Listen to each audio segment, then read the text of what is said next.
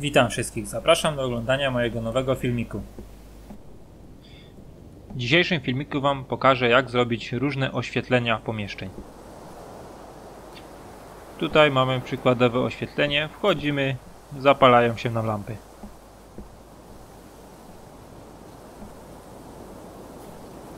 Po wyjściu zaraz gasną.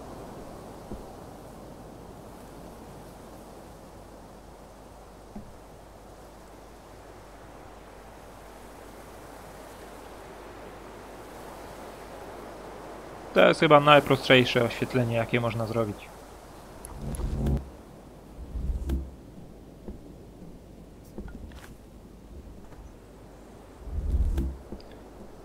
Teraz zdemontujemy je i pokażę Wam, jak je dokładnie, krok po kroku zrobić. Będą nam potrzebne lampy. Umieszczamy gdzie chcemy w pokoju, jaki mieć.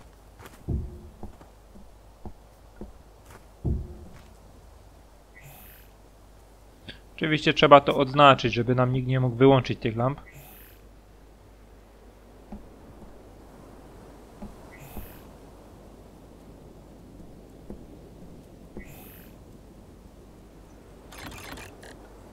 Jak widać są zamknięte, nie da się z nimi zrobić.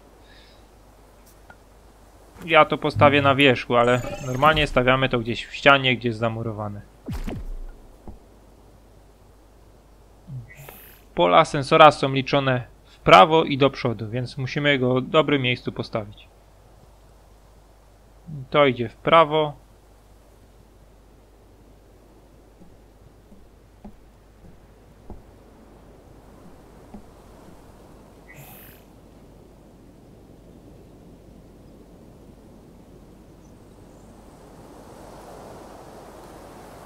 Dajemy 8 na 10. To będzie cały pokój. Odznaczamy tam, żeby tylko jak gracz wejdzie się nam zaświecało. Podłączamy lampy.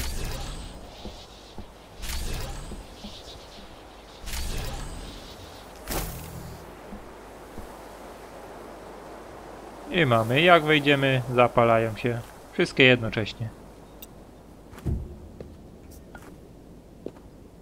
Widać wysokość dałem na chyba na no nie na samą górę, więc jak podskoczymy, wtedy będzie nam gasło. Więc możemy sobie zwiększyć.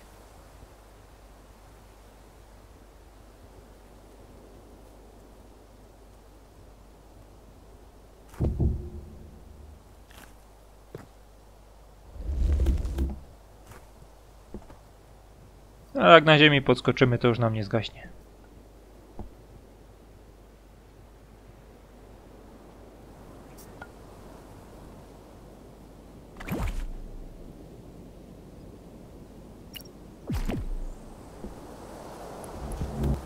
Teraz zrobimy to samo, ale na przełącznik.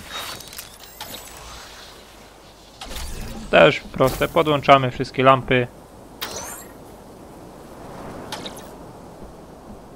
Wychodzimy, gasimy.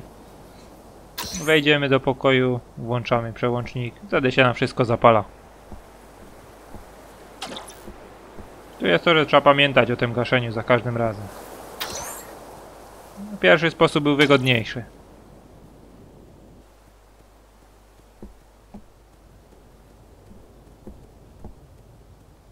Teraz wam pokażę jak się lampy zapalają po kolei.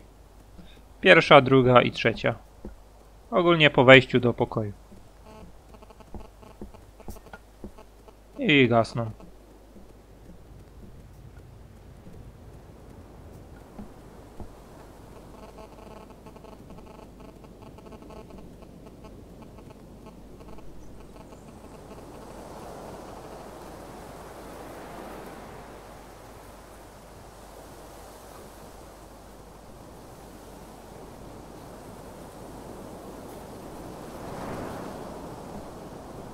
To ładnie wygląda jak są dłuższe pomieszczenia.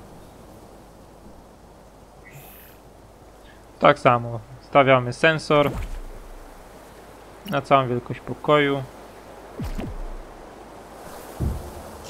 Do tego dodajemy, no, akurat na trzy lampy dodamy tylko dwa zegarki. Odznaczamy to Ustawiamy po ilu sekundach ma się zapalić. Jak w jednym ustawimy jedną, to w drugim musimy ustawić po dwóch sekundach. Podłączamy do jednych lamp. Jeden, drugi podłączamy do tych następnych, które się mają zapalić po nich.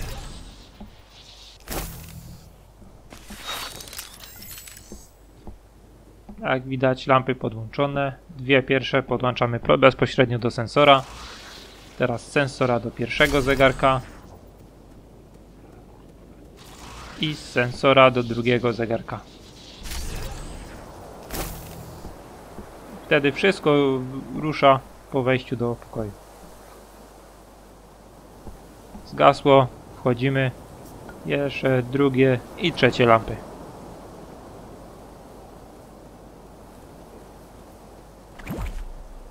Jeżeli ktoś ma jakiś korytarz długi, to może takie coś zrobić.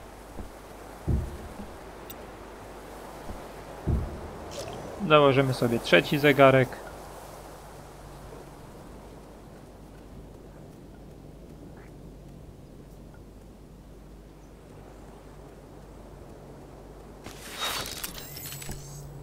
Podłączymy do lampy.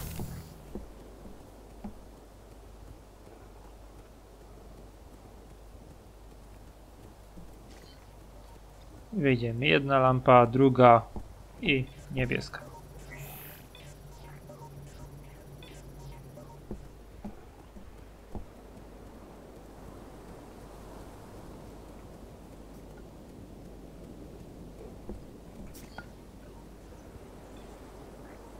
I niebieska na końcu. Można różnie ustawić, jak się chce, zależy jaki czas tam stawimy. Lampy będą różnie zapalać. Tuśmy troszkę wydłużyli czas, że troszkę później się zapalają.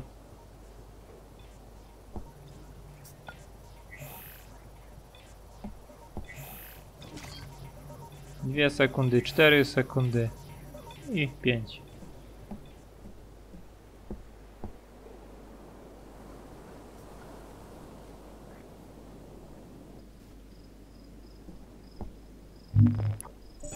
Teraz wam pokażę jak zrobić przejście, gdzie lampy się będą zapalać po kolei.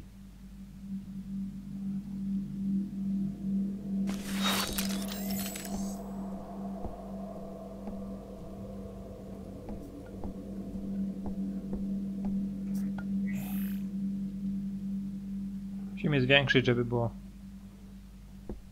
na całe pomieszczenie.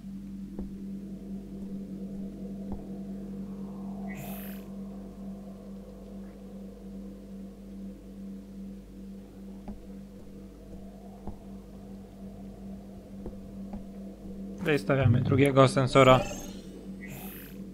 Ja to podzielę na, na trzy na trzy takie elementy, czyli trzy, trzy sensory wstawię. I tu damy trzeciego.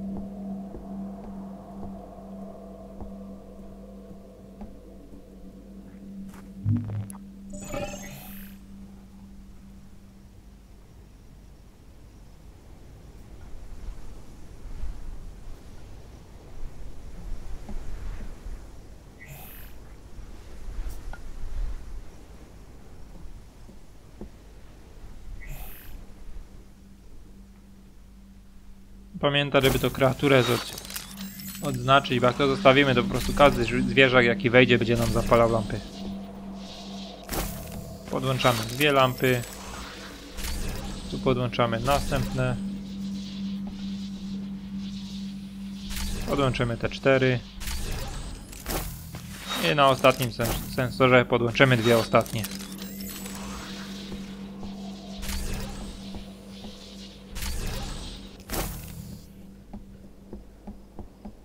Niech to pogaśnie wszystko.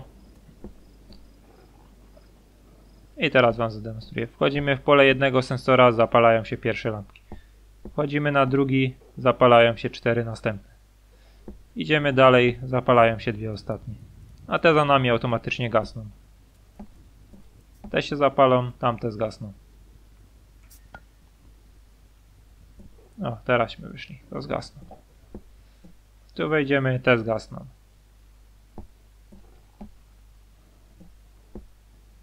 No możemy w jakichś labiryntach, jakichś przejściach zastosować śmiało.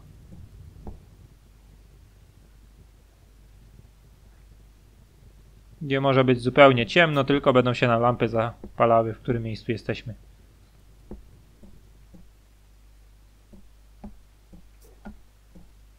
Wyjdziemy, zgaśnie wszystko.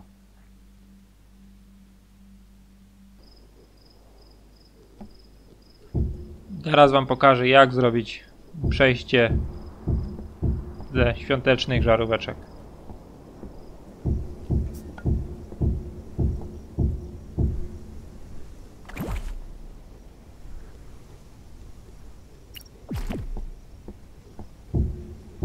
Robimy tak, że będą się taki pas się będzie po kolei zapalał.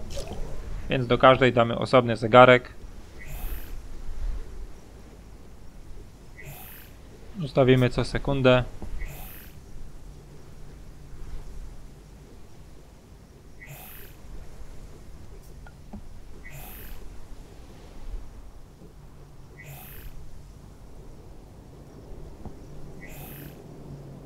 Ustawiam co sekundę, bo będę łączył je po kolei, jeden do drugiego, więc ten czas będzie się po prostu dodawał. I tak. Łączymy dwie lampy. I następnym. Następne dwie.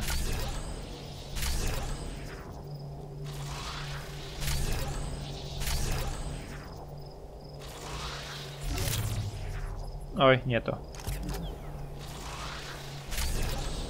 Tak, połączyć.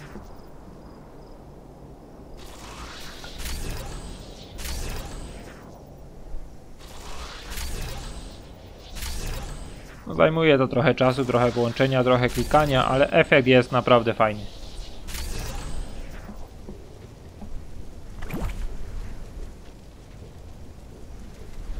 Użyjemy akurat przełącznika do tego.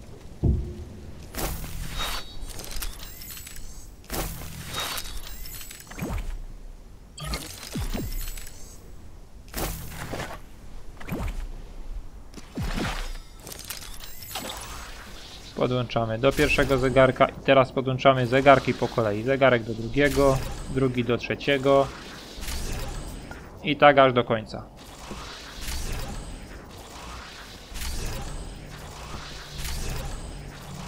Po prostu nie jak tam wszystko od przełącznika czy od sensora, tylko zegarki do siebie.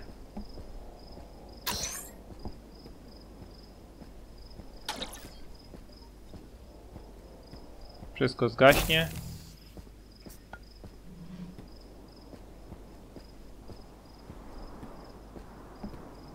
Suniemy tę lampę, żeby było lepiej widać. I teraz będą się zapalać.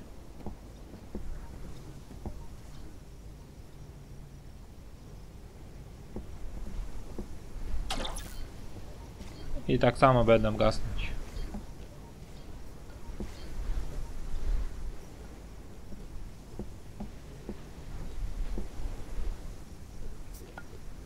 Nie wiem, jakieś tunele, czy pasy startowe, czy coś takiego możemy zrobić takim takim rega, mrygające.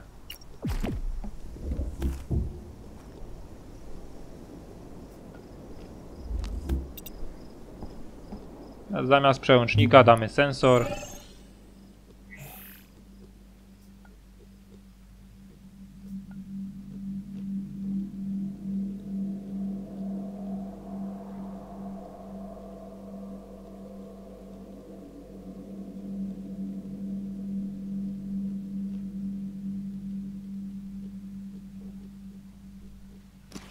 Stawimy sobie taką wielkość mniej więcej.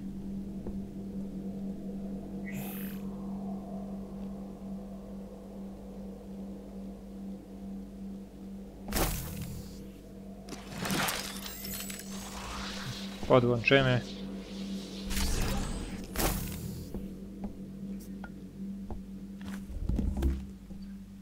I teraz jak wyjdziemy w pole sensora, zaczną nam się zapalać lampki.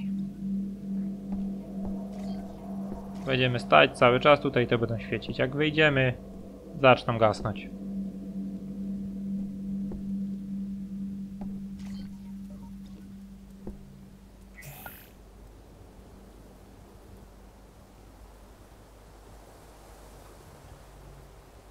Spróbujemy przyspieszyć, to trochę damy 0,5 sekundy.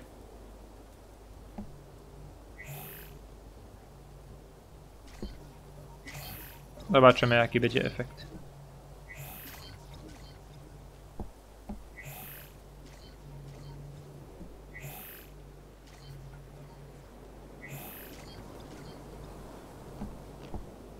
Idziemy, żeby się to zrestartowało wszystko. I teraz sprawdzamy. Jak widać idzie dużo szybciej.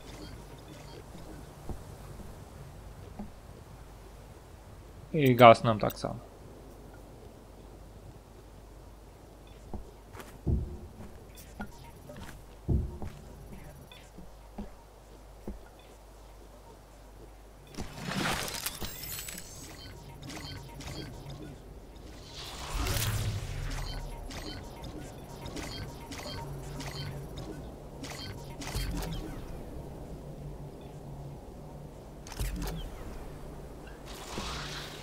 Teraz połączymy tu i dodamy do tego jeszcze górną lampę.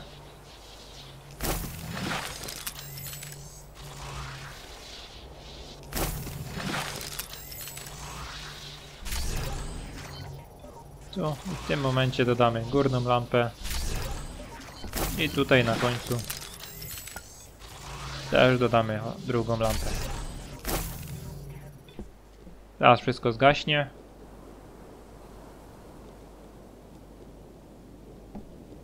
Jak wejdziemy, zapalam się po kolei dolne i górna, dolne i górna lampa. Więc kombinacje są różne. Wszystko zależy od tego, jak to sobie ustawimy. Dobra, wystarczy sensor, parę zegarków i nic prostego.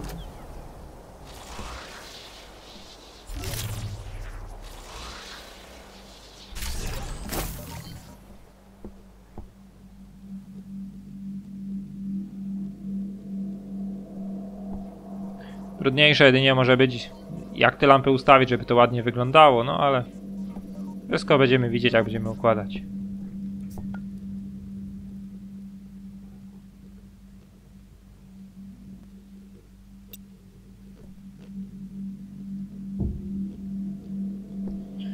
Teraz wam pokażę, jak zrobić na przykład lampkę na choinkę. Żeby po prostu sobie cały czas mrygała.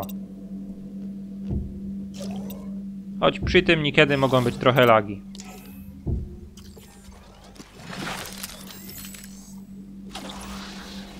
Musimy podłączyć do zegarka.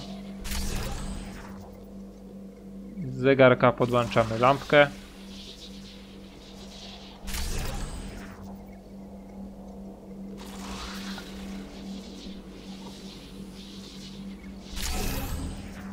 Tutaj podłączamy takie urządzonko. I z tego urządzonka podłączamy tak. No że ten przełącznik zasłania i nie widać jak to jest połączone. Przeniesiemy go.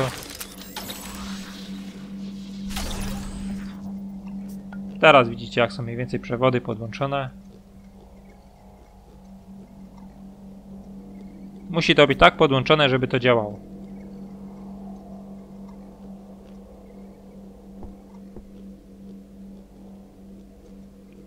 Oczywiście na zegarku musimy dodać czas.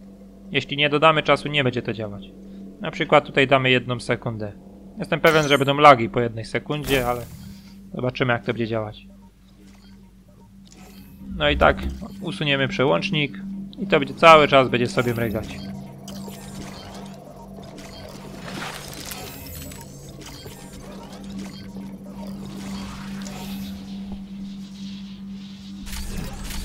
Na jednym światełku jeszcze idzie. Dodamy do tego trochę LEDów.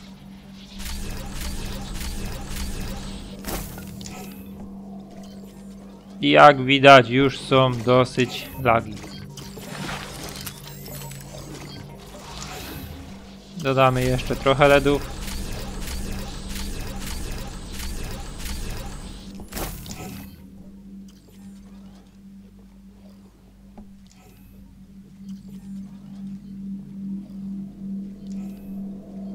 Są lagi. I gra idzie na 16 GB RAMu. I dalej mamy lagi. Więc takiego szybkiego mrygania nie polecam ustawiać.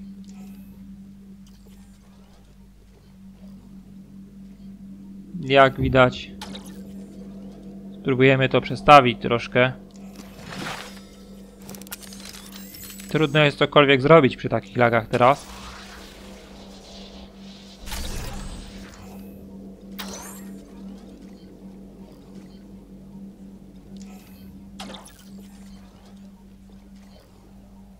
Podłączymy, wyłączymy to. A, choć to wyłączymy, to się samo nie wyłączy teraz. Musimy tu zwiększyć czas. Na przykład damy 4 sekundy. Albo 10 najlepiej. Teraz zrestartujemy.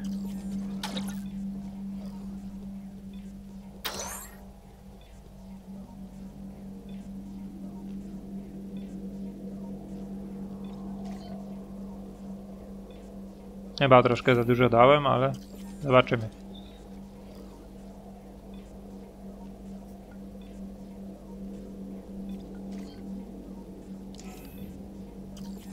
No i jedna, jednak idzie. A przyspieszymy troszkę.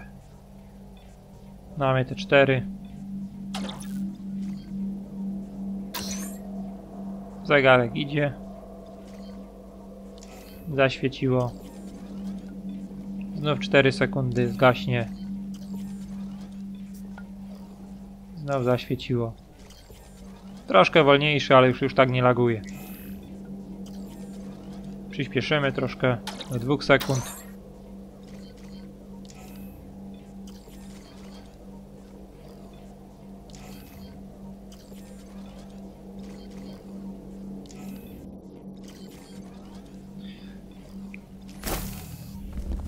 Jak widzicie, wszystko działa. To by było wszystko w moim dzisiejszym filmiku.